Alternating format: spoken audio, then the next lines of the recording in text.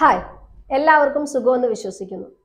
നിങ്ങളൊക്കെ കൈകളിൽ നിന്ന് ഞൊട്ട വിടുന്നവരാണോ ചിലരൊക്കെ ഒരു നാഡീ ഞരമ്പുകളുടെ ഒരു ഊർജസ്വലമാക്കുന്നതിന് വേണ്ടി ഒരു ശീലം എന്ന രീതിയിൽ ഞൊട്ട വിടുന്നവരുണ്ട് ചിലർ മാനസിക പിരിമുറുക്കം ഒഴിവാക്കുന്നതിന് വേണ്ടി ഞൊട്ട വിടുന്നവരുണ്ട് മറ്റു ചിലരാകട്ടെ തന്റെ കൂട്ടുകാരിയോ അല്ലെങ്കിൽ കൂട്ടുകാരനെയോ ഒക്കെ ഒന്ന് ഇറിറ്റേറ്റ് ചെയ്യുന്നതിന് വേണ്ടി ഞൊട്ട വിടുന്നവരുണ്ട് എനിവേ എന്താണെങ്കിലും ഇത് നിങ്ങൾക്ക് ചെയ്യുന്നതിലൂടെ നിങ്ങൾക്ക് എന്തെങ്കിലും ദോഷങ്ങൾ സംഭവിക്കുന്നു എന്ന് നിങ്ങൾ ചിന്തിച്ചിട്ടുണ്ടോ? അല്ലെങ്കിൽ ഇങ്ങനെ നമ്മൾ ഞൊട്ട വിടുമ്പോൾ ഒരു ശബ്ദം പുറത്ത് വരാറുണ്ട്. ഈ ശബ്ദം എവിടെ നിന്ന് വരുന്നു? എന്ത് സംഭവിക്കുമ്പോഴാണ് ഈ ശബ്ദം വരുന്നത്? എന്നതിനെ പറ്റി നിങ്ങൾ ചിന്തിച്ചിട്ടുണ്ടോ? സോ ഇല്ല എന്നുണ്ടെങ്കിൽ ഇതിനെപ്പറ്റി അറിയാൻ അല്ലെങ്കിൽ നിങ്ങൾക്ക് അത് കേൾക്കാൻ താല്പര്യമുണ്ട് എന്നുണ്ടെങ്കിൽ ഈ വീഡിയോ പൂർണമായും കാണുവാൻ നിങ്ങൾ ശ്രദ്ധിക്കുക. സോ നമുക്ക് വിഷയത്തിലോട്ട് കിടക്കാം.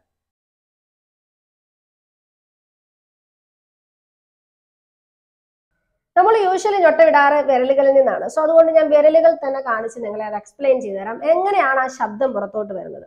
നമുക്കറിയാം നമ്മുടെ ഈ ഒരു വിരൽ നോക്കിക്കഴിഞ്ഞാൽ ഇത് ഇവിടെ ഒരു ജോയിന്റ് ഉണ്ട് ഇവിടെ ഒരു ജോയിന്റ് ഉണ്ട് ഇവിടെ ഒരു ജോയിന്റ് ഉണ്ട് അല്ലെ? ഒരുപാട് ജോയിന്റുകൾ ഉണ്ട് രണ്ട് എല്ലുകൾ തമ്മിൽ ചേരുന്ന ഒരുപാട് സന്ധികൾ ഇവിടെ ഉണ്ട് അല്ലെ?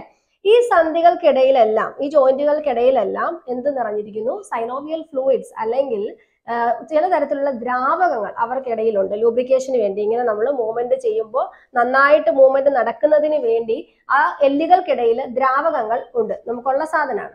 അപ്പം ഈ ഒരു ഇതാണ് നമ്മുടെ നോർമൽ ആയിട്ടുള്ള സ്ട്രക്ചർ നമ്മൾ ഇങ്ങനെ ഞൊട്ട വിടുമ്പോൾ സംഭവിക്കുന്നത് നമ്മൾ ഇങ്ങനെ ഒരു പ്രഷർ കൊടുത്ത് നമ്മൾ ഇങ്ങനെ ഞൊട്ട വിടുമ്പോൾ സംഭവിക്കുന്നത് ഈ സന്ധികൾക്കിടയിലുള്ള സ്പേസ് അവിടുത്തെ ആ ഒരു അകലം വർദ്ധിപ്പിക്കുകയാണ് ചെയ്യുന്നത്.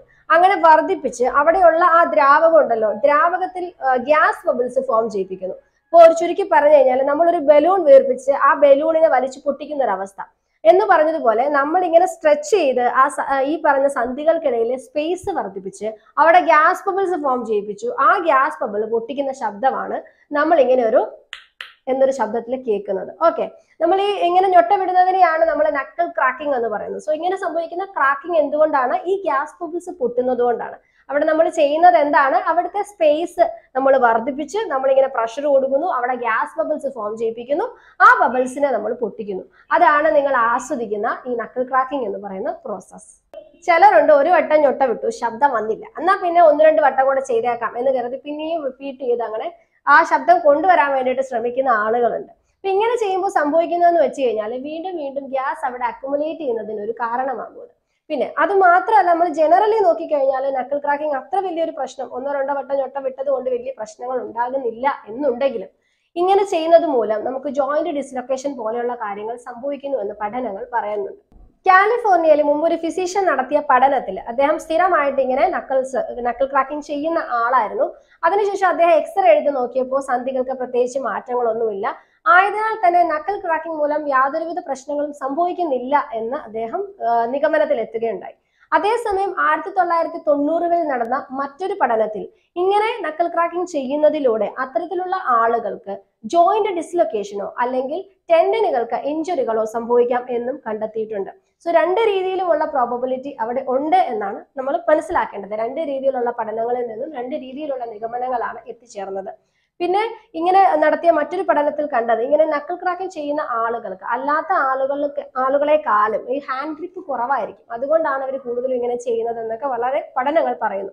എനിവേ ഇതാണ് നമ്മുടെ ഈ ഞൊട്ട വിടുന്ന ഈ പ്രതിഭാസത്തിന് പിന്നിലെ ഒരു സയന്റിഫിക് ആയിട്ടുള്ള തിയറി എന്ന് പറയുന്നത്. നിങ്ങൾ അറിഞ്ഞിരിക്കേണ്ട മറ്റൊരു കാര്യം എന്ന് പറയുന്നത് ഇങ്ങനെ ഞൊട്ട വിടുമ്പോൾ അല്ലെങ്കിൽ നക്കൽ ക്രാക്കിംഗ് ചെയ്യുമ്പോൾ നിങ്ങൾക്ക് ഒരു വേദന അനുഭവപ്പെടുന്നു അല്ലെങ്കിൽ നീര് വരുന്നു എന്നുണ്ടെങ്കിൽ അതിനർത്ഥം നിങ്ങൾക്ക് സന്ധിവാദം അല്ലെങ്കിൽ ഗോട്ട് എന്നിവ ഉണ്ടാകാനുള്ള സാധ്യതയുണ്ട് എന്നാണ്. മാത്രമല്ല ഒരു ലിഗമെന്റ് ഇഞ്ചുറിയോ കാര്യങ്ങളോ അല്ലെങ്കിൽ ജോയിന്റ് ഡിസ്പ്ലേസ്മെന്റോ എന്തും ആകാം. സോ ഇങ്ങനെ എന്തെങ്കിലും ഒരു അസ്വാസ്ഥ്യം ഇതിന് ശേഷം അനുഭവപ്പെടുന്നുവെങ്കിൽ നിങ്ങൾ തീർച്ചയായിട്ടും ഒരു വൈദ്യസഹായം തേടേണ്ടതാണ്. ഇനി ഇതിന് ഇങ്ങനെയൊക്കെയുള്ള ഒരു അപകട സാധ്യതകൾ ഉണ്ടല്ലോ. ആയതിനാൽ തന്നെ എനിക്കിത് നിർത്തണം എന്ന് ഞാൻ ആഗ്രഹിക്കുന്നു എന്നുണ്ടെങ്കിൽ ചില ടിപ്സുകൾ നിങ്ങൾ ഫോളോ ചെയ്യുക. നിങ്ങൾക്ക് സ്ഥിരമായിട്ട് ഇങ്ങനെ ഞൊട്ട വിടുന്നത് മെയിൻ ആയിട്ട് എന്തിനായിരിക്കാം? ചിലർ ചിലർ ഹാബിറ്റ് എന്നുള്ള രീതിയിലായിരിക്കാം. അപ്പൊ അത് അവർ തന്നെ കൺട്രോൾ ചെയ്യുക. ഇനി ചിലർ ഒരു സ്ട്രെസ് റിലീഫിന് വേണ്ടിയിട്ടായിരിക്കും. അപ്പം മാനസിക സംഘർഷം ഒഴിവാക്കുന്നതിന് വേണ്ടി ഞൊട്ട വിടുന്നതിന് പകരം നിങ്ങൾക്ക് സ്ട്രെസ് റിലീഫിന് വേണ്ടിയിട്ടുള്ള ബോർഡുകൾ ഹാൻഡ് എക്സസൈസിനുള്ള ബോർഡുകളും മറ്റും അവൈലബിൾ ആണ്. അത് നിങ്ങൾക്ക് ഓൾട്ടർനേറ്റ് ആയിട്ട് ഉപയോഗിക്കാം. അപ്പൊ അങ്ങനെ ഉപയോഗിക്കുമ്പോഴത്തോട്ട് പയ്യെ പയ്യെ നിങ്ങളുടെ ഞൊട്ട വിടുന്ന ശീലം മാറി അതിലോട്ട് നിങ്ങൾ കോൺസെൻട്രേറ്റഡ് ആവുന്നതായിരിക്കും. സോ ഇങ്ങനെ നിങ്ങൾ നിങ്ങളുടെ ശീലം ഡൈവേർട്ട് ചെയ്യാൻ ശ്രമിക്കുക.